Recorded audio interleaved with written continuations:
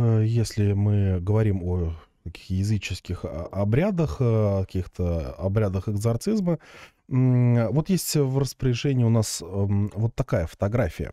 Это вот как раз не обряд экзорцизма.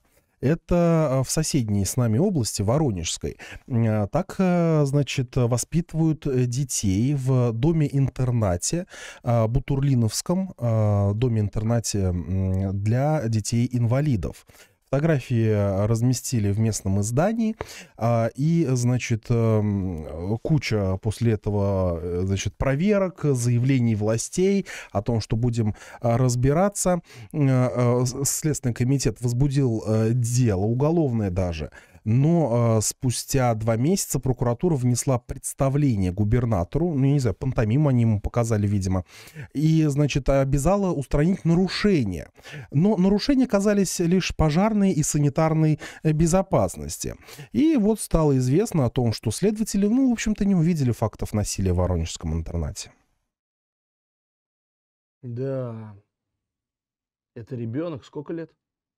Ну, я не знаю, там а, не сообщается. Но, в принципе, это не принципиально важно, да? Насилие против детей, нарушение прав детей – по мне, должны быть преступления, э, являться преступлениями особой тяжести. Это преступления против тех, кто не может за себя постоять. И подобные преступления могут искалечить жизнь ребенку. Да? И здесь мы говорим о, э, о интернате. Это, это дети, которые, которые вообще ну, абсолютно заслуживают и в первую очередь должны быть поддержаны государством.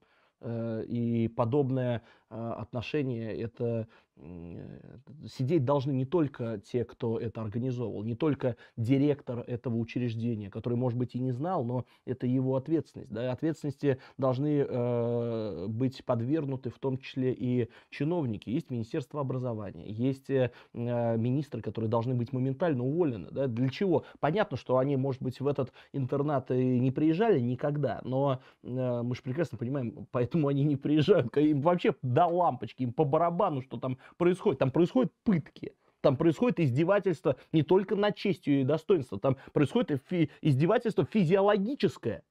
Это э, должно сойти с рук э, всем, кто носит какие-то э, контролирующие функции, а за что они получают деньги? Они должны отвечать за кадровую, кадровую политику, они должны э, смотреть за тем, чтобы подобных преступлений не было. И что касается прокуратуры, которая не увидела никаких других нарушений, каких, какая пожарная безопасность? Что, что за постановка вопроса? Ну неужели это здесь требует в первую очередь оценки? В каком состоянии находятся дымоходы или огнетушители.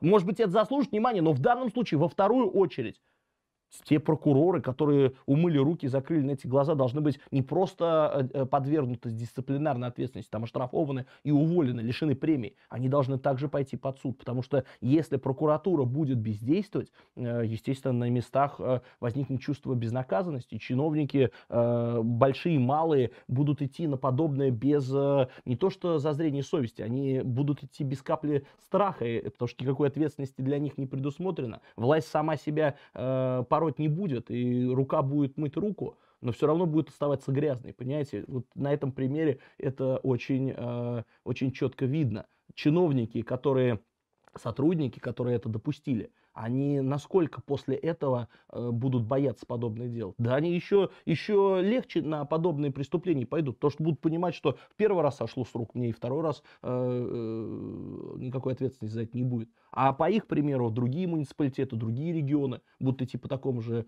э, абсолютно преступному пути. А это и есть э, деградация, разложение и гниение общества, где мораль и нравственность, особенно перед детьми, не имеет э, никакой цены.